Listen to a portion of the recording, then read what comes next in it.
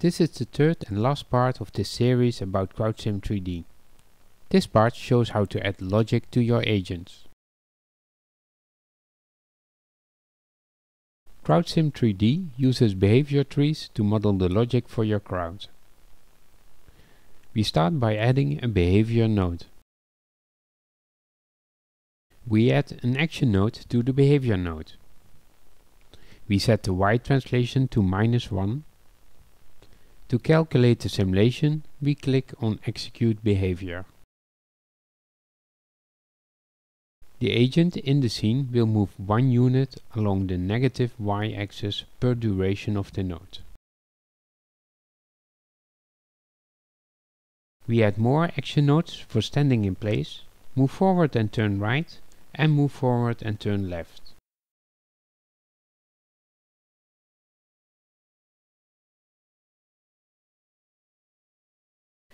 Connect all these actions to a selector node. This node can select a random action to execute.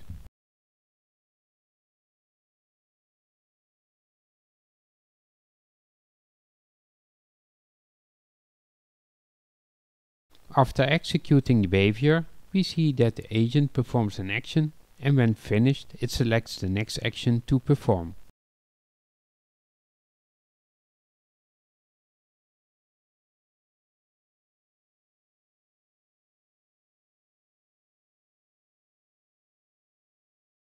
We can add animation to the movement by using a play action node.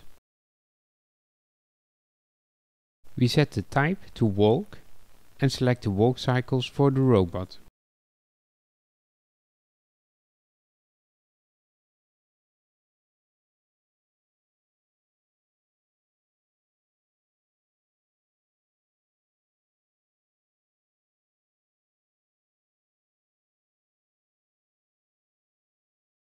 We use a parallel node to make sure that both parts of the tree are always evaluated.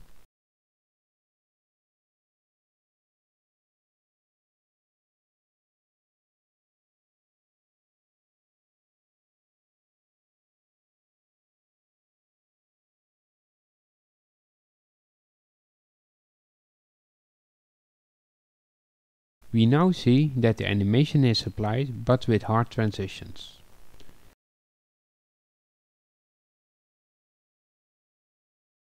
We can use the blend in and blend out settings to smoothen the animation transitions.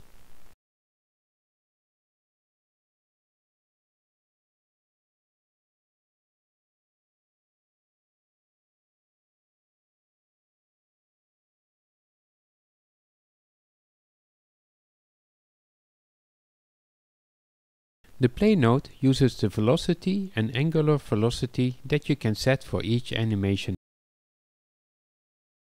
You can find the panel in the action editor of the dope sheet. For this example I added actions for different movement speeds. In all actions the velocity and angular velocity is set. The velocity of the move forward animation is set to 1 meter per second. The angular velocity of the move forward and turn animations are set to plus and minus 45 degrees. This is the amount of degrees per second. The play node will generate an animation based on the nearest actions found for the actual movement of the agent.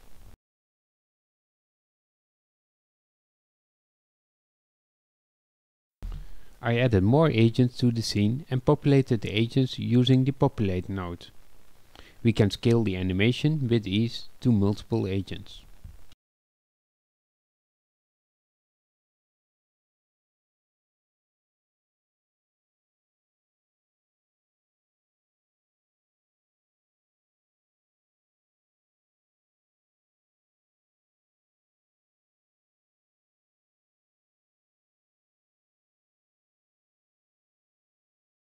As you can see, the headlights are not turning. We add the play action node and select the animation action for a turning headlight.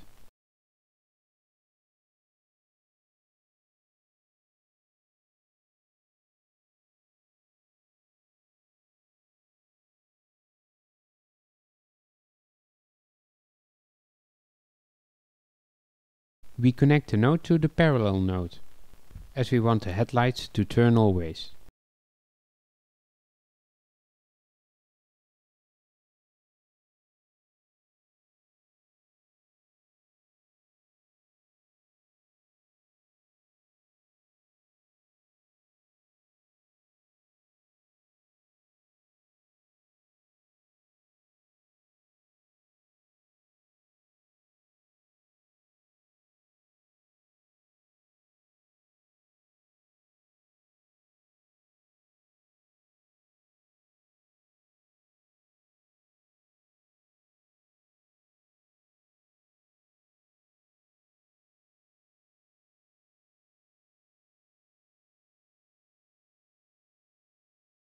For the next case we want the police robot to chase a thief robot.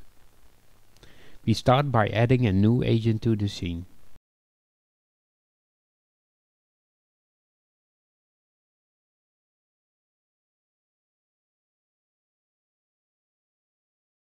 We set the model to robot and make sure that the character is a thief wearing a mask.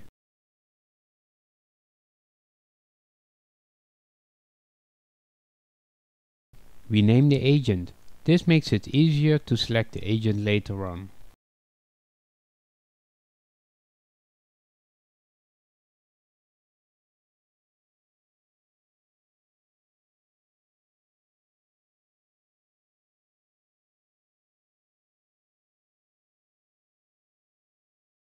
We add the check attribute node. This node can test an internal variable that the CrowdSim stores for an agent.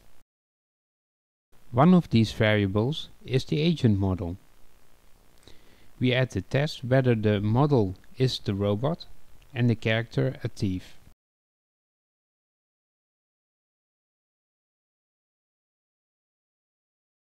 Using a conditional node we can perform different actions when the condition is met or not.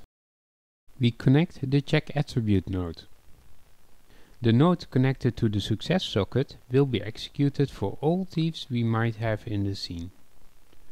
The failure socket will be executed for all non-thieves. In our case that will be the police characters. To the success socket we connect the movement we already created.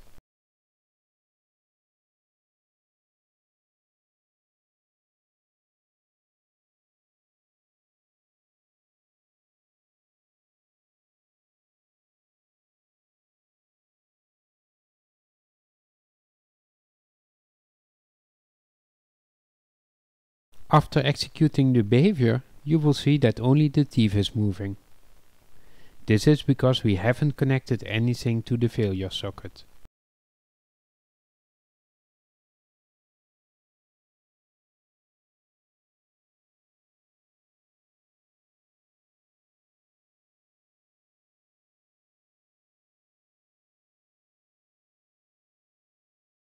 The next step is for the police robots to select a target to chase. Be at the set target node. For the target we need to define a target property. Target properties define the state of an agent to hold a blender object what it is targeting. You can define multiple targets in case you have multiple goals to complete. By using an object selector node, we can limit the possible objects that can be targeted. In this case, we only want to target the thief agent.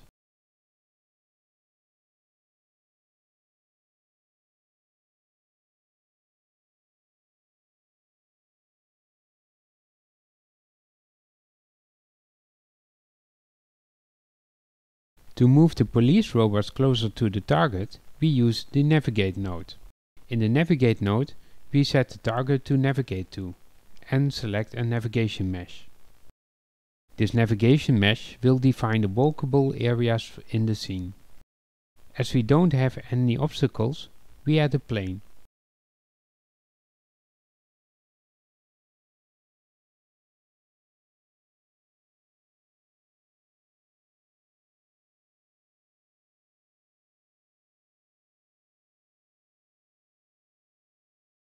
and use this as our navigation mesh.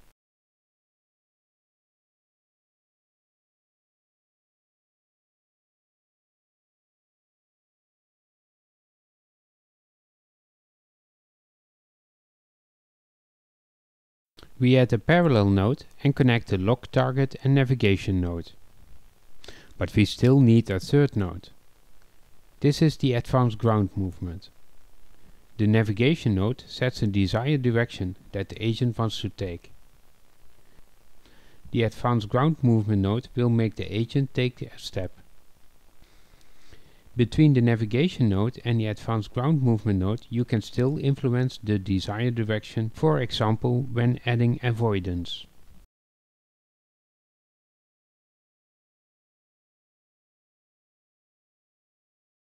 After executing the behavior, we will see that the police robots are chasing the thief.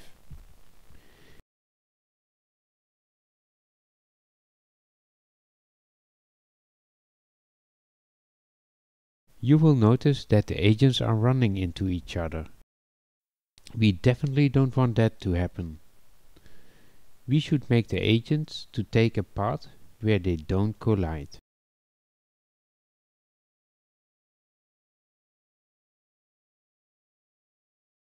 For this we use the avoid node.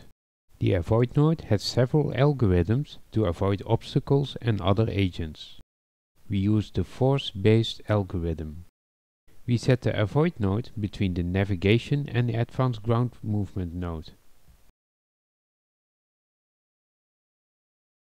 When executing the behavior, the avoid node will use the output of the navigation node and tries to avoid the other agents.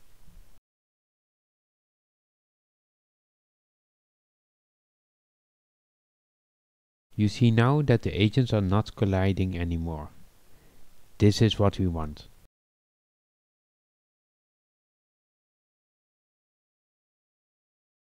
In the same way, you can add more and more behavior.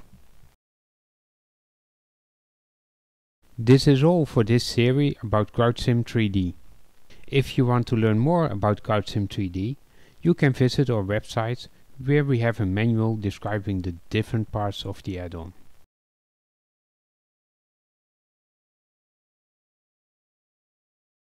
You can also ask your questions via info at crowdsim3d.com and we will gladly help you as best as we can.